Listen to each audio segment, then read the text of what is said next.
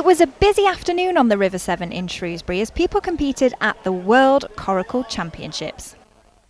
This part of the Midlands has a long and proud history with the small boat, and this is the last remaining coracle shed. And this is a coracle. It's basically a flat bottomed boat, which was often seen up and down the Severn, and this one was made right here in this very shed. The shed's been a little run down recently. The coracle market isn't exactly booming, but thanks to a grant from Telford and Wrekin Council and the Heritage Lottery Fund, it's being brought back to life. It's part of the social history of the gorge, um, the Rogers family in particular, and also um, uh, the whole coracling tradition now it depends on people like us to actually um, provide some evidence of what used to be here. Which means the memory of the Rogers family lives on in Ironbridge.